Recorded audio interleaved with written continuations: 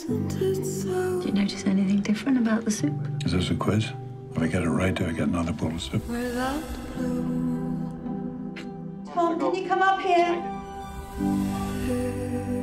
There isn't a moment I won't be there with you.